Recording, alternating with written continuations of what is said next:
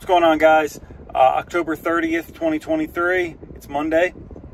And I've been doing a lot of PM, so I really haven't been getting a whole lot of footage. So today's video is actually um, a call from two separate days. Um, one was actually from Friday, and then one was from today. So um, first up, we have a no cooling call. Take a look. Right.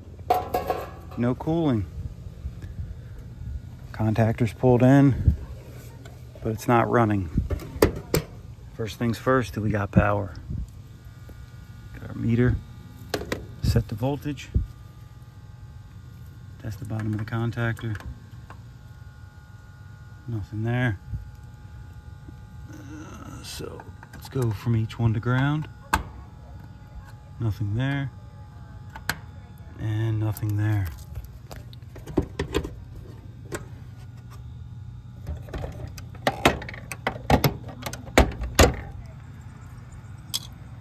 Check this disconnect next. All right.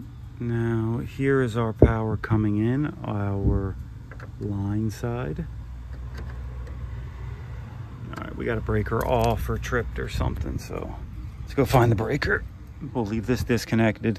Actually, um, we'll see if it's tripped or just off. Just real quick, we'll do a, we'll just test for shorts.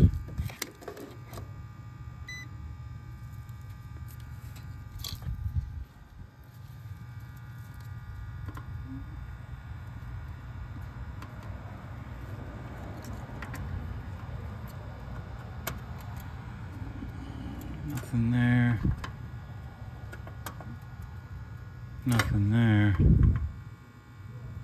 Doesn't seem like there's anything there. Alright, well, ground to ground, we got it. I'm not seeing any shorts, even though that contactor's probably seen better days.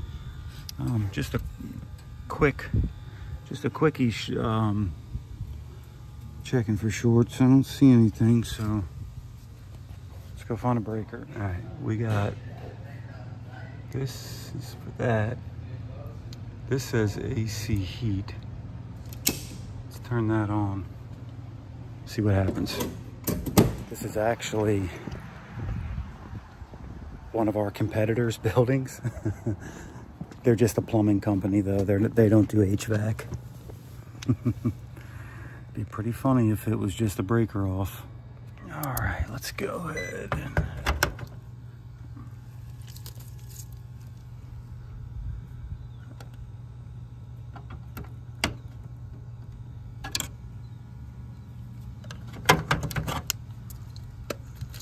All right, let's see. All right, so we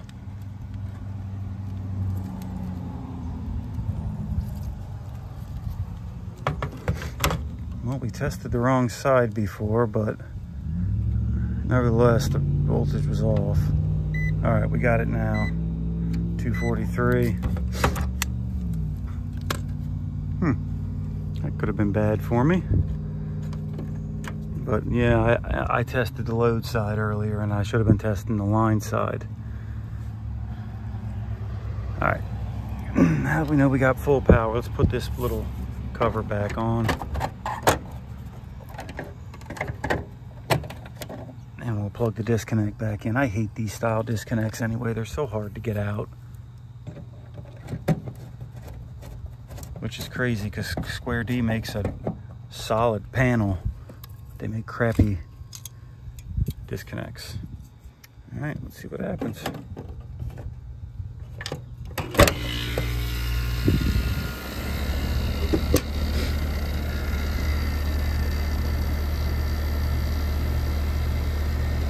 No, she sounds like crap. This looks like it's leaking. But it did start.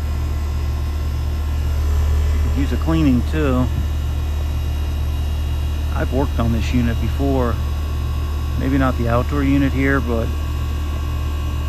um, there's a blower capacitor or something before.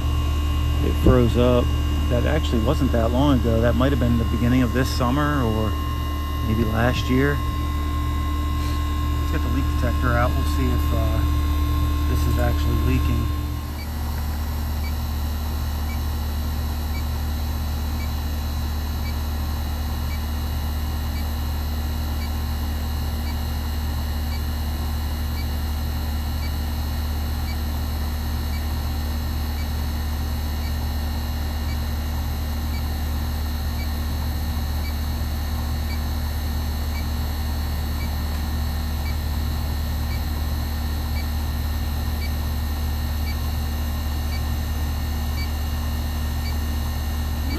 anything up.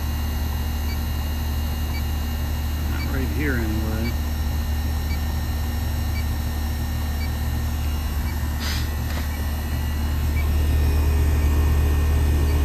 Definitely feels like, whoa, man, this thing is on there weirdly tight. I, I bet you that's got some pressure behind it.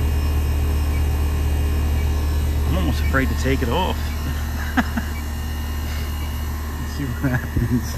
I've seen them where they're real tight like that. They've got pressure built up behind them.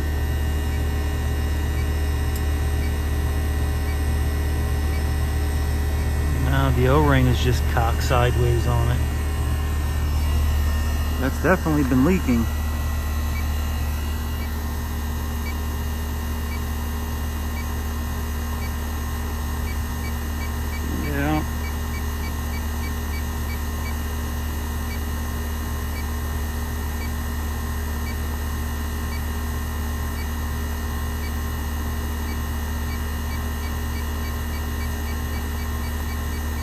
Sure enough.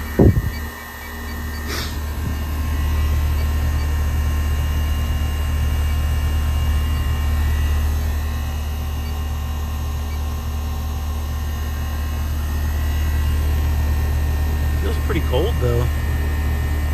Didn't lose that much. Alright, let's see if we can get this baby out first try.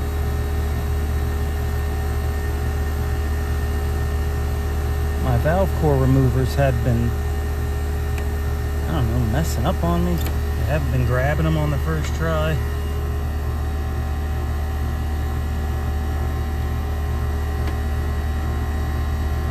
Uh, what have I got myself into now? Uh-oh. I put it on the wrong way.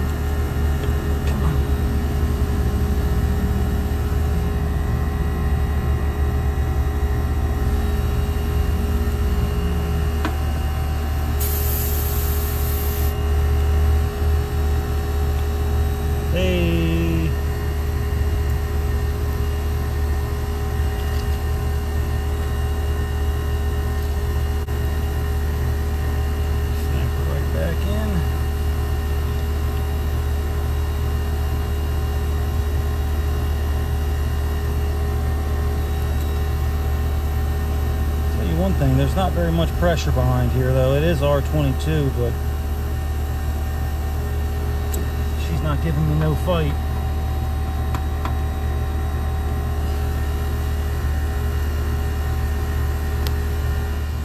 I'm not sure where I seen this. I think on HVAC school, YouTube video or something, but you take a cap, you drill a hole in the middle of it. Go ahead and put her on.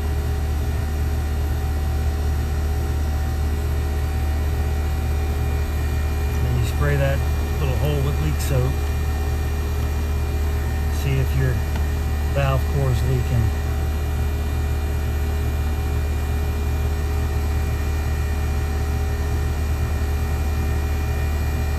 And our new one looks good now.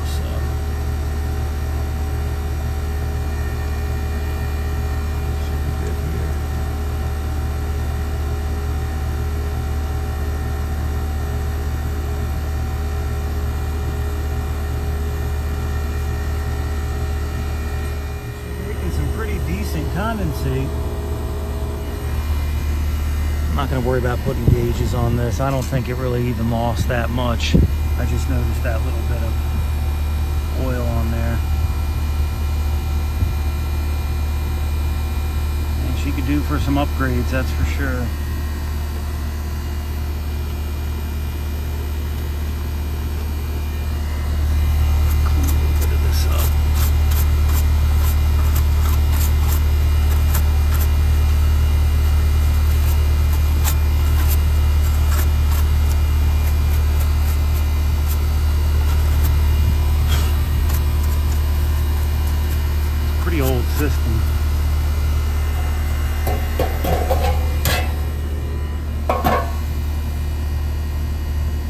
2000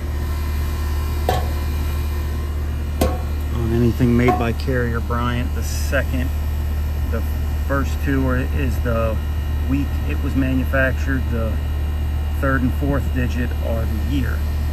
So this was made in the 47th week of 2000. So this system is 23 years old.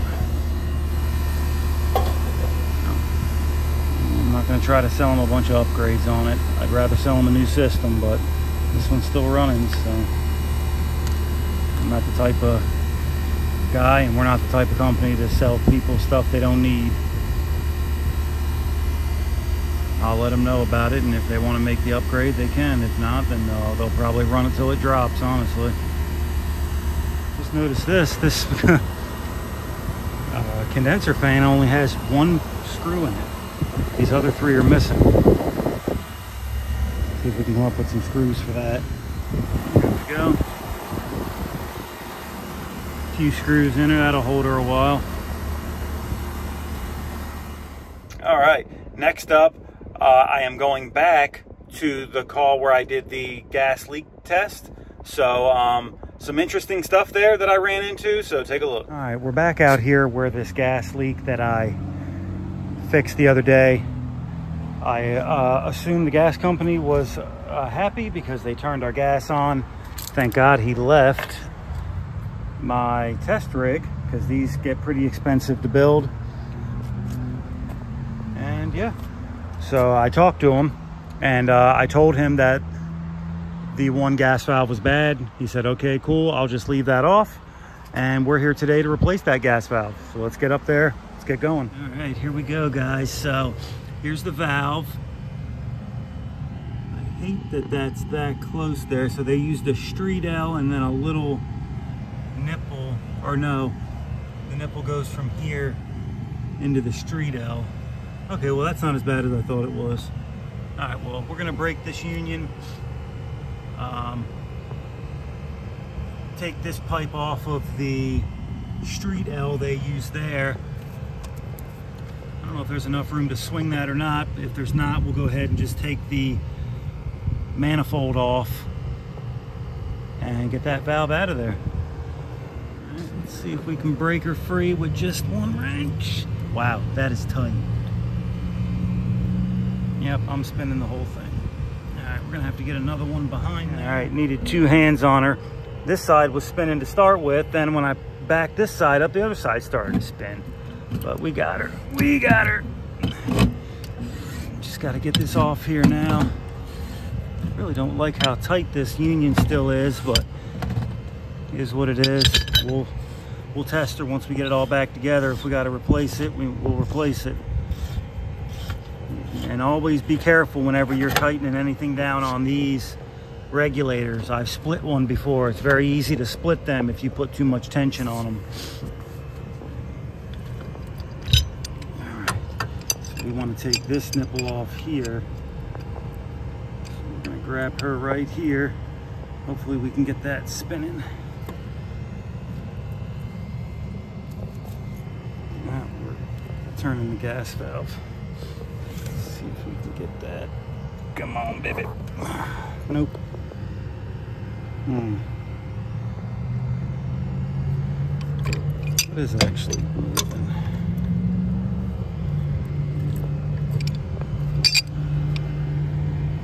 I don't know if the whole gas valve moved or just the nipple or the street L moved. All right, we got her moving now.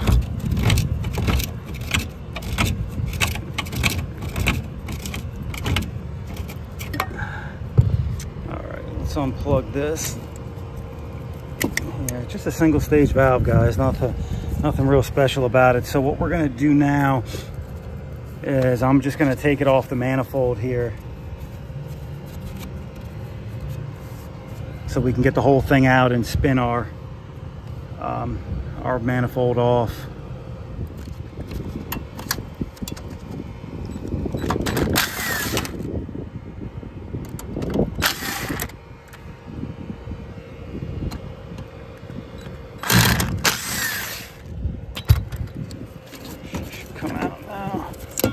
there she is. Half inch street L. Uh, might actually see if I got one of them because she don't look too sporty either. Uh, we'll see if we can get her out of there. Right, there's our old valve off. Distribution tube. And then our street L here. Which actually came out really easy because I already had it loose from it uh, going downward when I was taking the nipple off. All right, so we're gonna put our uh, distribution tube, um, manifold back on, and then we'll uh, put the 90 on. All right, we got our manifold on, we got our street L back on. Go ahead and put this back in and connect everything, or connect the gas line back. Hmm, so this valve is actually a little bit different, is it? It still sticks off the same. Seems like it's not going in there right.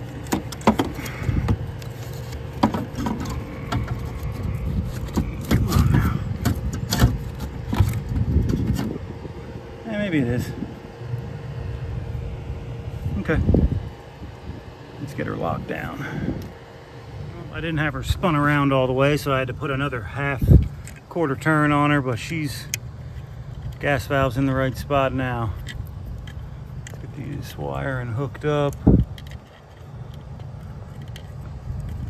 There we go. All right. Yeah, that's us right there. Get our get our nipple shoved in there. We'll try to clean that dope up. We're all back together now. I gotta run down, grab my manometer so we can test the gas pressure when we start this baby back up. Yeah, this one, I don't know if this valve's longer or what it is, but I can't get this to, to line back up now. You see how it's coming in all off to the side now? Not sure what happened there. I've tried to pull it back. This new valve must be a little bit longer or something like that. That line back up. I'll try to get that fitted back in there best I can. All right, we got the gas back on now. Um, I'm not sure if it has to be bled off because I don't think even that one has been fired since they turned the gas back on. But we're gonna test for leaks with this new leak detector I got that Inficon sent me. The Inficon GasMate combustible gas detector. So I'm sure you guys have seen this one before. Uh, it looks a whole lot like the TEK-Mate refrigerant leak detector. Uh, same body and all, except this one's yellow. And it's got a little slide scale on it, just like the um, Inficon Whisper has. So, um, yeah, their basic classic design here. We'll go ahead and fire it up. Yep, it goes through this long annoying period where it beeps for a while until it's uh, it's heated up. All right, she's on now and ready to go. Um, we have a slide scale here to adjust the sensitivity. Um, all the way up is the highest sensitivity, or we could keep sliding like this down to there, and that is the lowest sensitivity.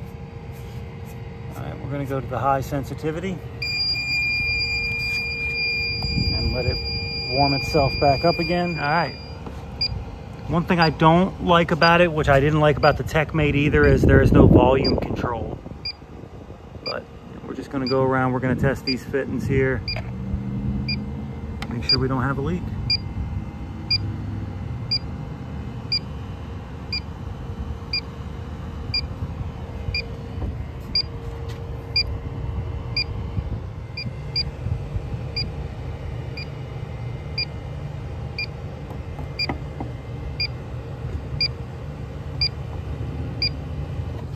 I think we're good. Uh, I cracked the, um, the inlet pressure point. I just want to hear it go off, see what it sounds like.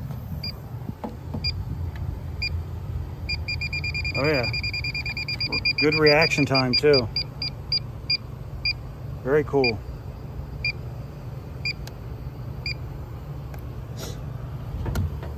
All right.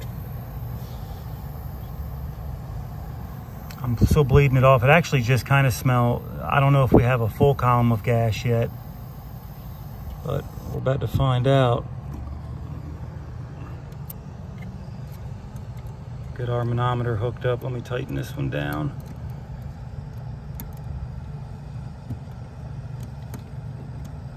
We'll see if she fires up. All right, she's coming on now. That draft inducer kind of sounds like hell.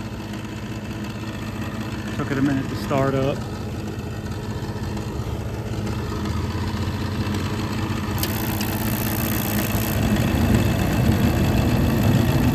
Right on.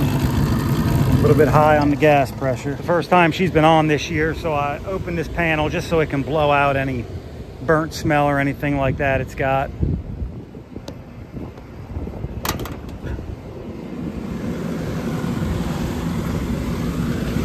And we're gonna drop her down to 3.5.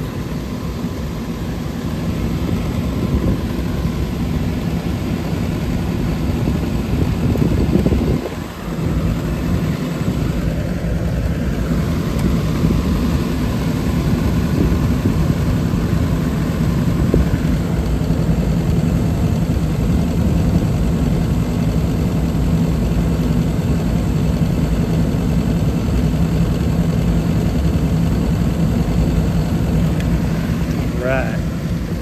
All right, I think we're in good shape with this one. Now this one, I don't think the heat has been fired up yet on.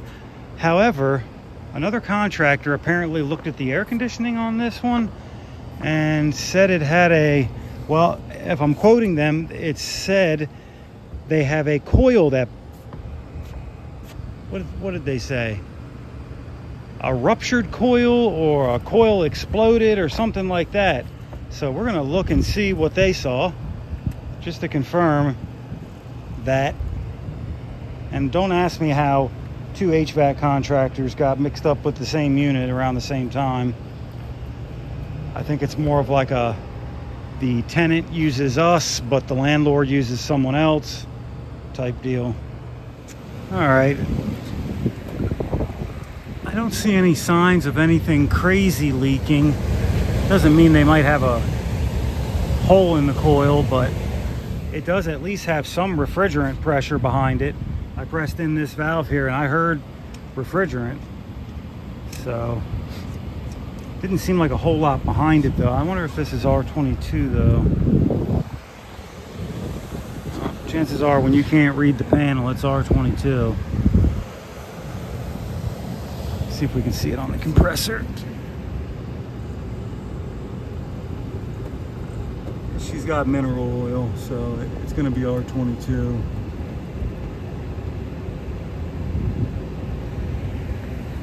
They didn't do anything to disable it though if it did have a leaky coil. I don't know, let's fire it up, see what happens. All right, just to confirm, we have a call. We do have a call on Y, or we don't have a call on Y. So let's go ahead and jump. It's taken that condenser motor a long time to get going. We have a low ambient control? We do. Okay, so we do have a low ambient control right there. So that makes sense. Me put, place this panel over here. There she go. She's got plenty of head pressure, or pl making plenty of heat. I don't know, I think these guys might be getting out trying to get one over on them. That's very cold.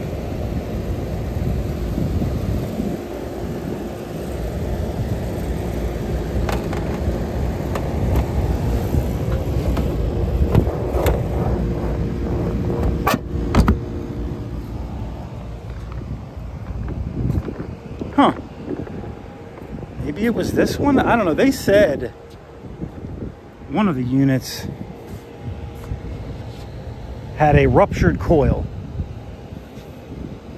I'm firing this one up to see if this one fires. Well, the heat fired right up on this one, so good there. Well, this one, this air conditioner is working. It's not working as well as that one is, but I swear, when I was here the other day doing that gas pressure test, the property manager guy came by here and he told me they had quotes in to replace this unit because he asked me which one the gas valve was bad on and I said this one. And he said, okay, well that one's staying anyway. He said, I got bids in to change that unit there. I said, all right. I mean, whatever. I just assumed he was telling the truth. But I'm not going to put gauges on it or anything because that's not um, that's not what I'm here to do today. But as far as I can tell, this air conditioner is running fine. And if anything, this one might be a little low on refrigerant.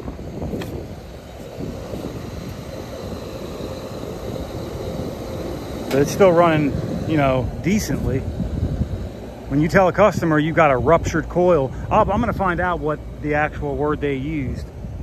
But that sounds like something blew up blew a hole out of or something. I'm not seeing anything like that here.